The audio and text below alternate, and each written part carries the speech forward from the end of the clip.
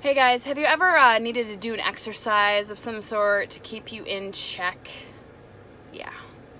Well, I myself would benefit from such an exercise. I know my kids would as well. And I mentioned a couple days ago on one of my videos that um, I talked to a school counselor and she had um, very profitable information for me to consider about how I have a tendency to want to control my children's response, right? They're not going to learn how to respond correctly if I'm constantly keeping them in check. They need to learn to keep in check themselves, okay? I'm not sure that I mentioned she gave me an exercise to help with this, and so I wanted to share with you today the exercise she shared with me. Um, it's basically an evaluation of how you're feeling. And it's really cute. I'll probably post it on Instagram and Facebook just so that you have reference. But it's got five steps, okay? And um, it's extremely key that you know yourself well enough that when you feel these feelings about to erupt, and I'm not talking about my kids. I mean, I am, because that's why I got the exercise chart. But secretly, I'm like, well, thanks, Jan, because I needed that for me. Thanks, Jan. And so it's got five steps. I'm feeling calm and in control, all the way to I'm about to blow. So I think my daughter's coming. Um, so, and then on the side, next to these Angry Birds, um, yes, bombs on the top, it talks about what that feeling looks like so that they can identify it. And then next to that, they're to come up with, they, me, we are to come up with ways that we can help com combat that feeling, to minimize that feeling, to take control over our emotions. Because otherwise, we will blow.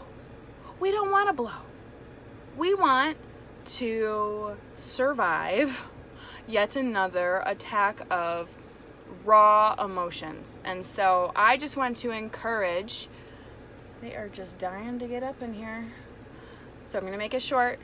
I would just encourage you, challenge you to assess your feelings if you're feeling like you ever get out of control. And I feel that way all the time, so I know this is a benefit that I had. Almost done.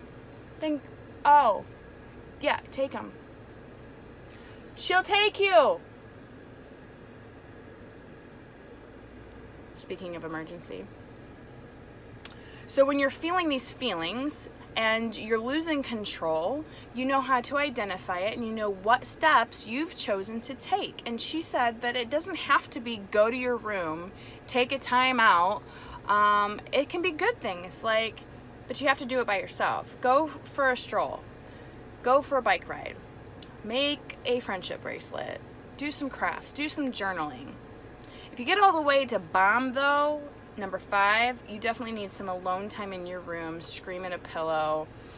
Um, just, you need to think about how you're acting and how to get better. And she came up with a great one. Um, I actually asked her if she just wanted to hop in the shower because I know how hot water makes me feel good how it calms me down because that's one of my items. So I said, do you want to just take a shower right now and just clean all this off? Just clean it all off because she's had some rough days.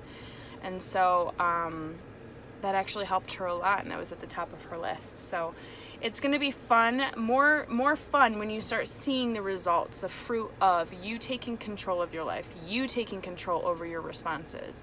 And if you know what's about to happen, you're feeling the welling, you're feeling the feeling that you is all too familiar, that you don't like, that you don't want, and you learn how to combat it and you come up with good approaches to that end. And so I am going to strongly encourage you to do that. Check out my Instagram at 1UBU and I'll have it posted to that. Um, if there's a way to post it to YouTube, I'll figure it out. Um, and to Facebook too. Sarah Miller or Sarah B. Miller, whichever. I, I don't really know because I have a business page that I can't figure out and I have a personal page that is still yeah, I'm hardly on Facebook. I'll just put it that way. And my manager, she, or my coach, whatever you want to call her, she is amazing and she's been helping me put playlists together on my YouTube and all that stuff. So I know that my Facebook is just filled, filled with updates from my YouTube. So if you haven't checked out some of those older videos, do it. Now's your chance. Um, if you're not subscribed on my channel. So anyway, if you haven't subscribed, do it now. If this was helpful to you at all, please share and of course tag anyone that might benefit from this exercise chart that I will be putting on there. It's more of a feeling chart I suppose. But go ahead and um, yeah, share, subscribe, add someone, tag someone, whatever you call it, and we'll be in touch. Check you later.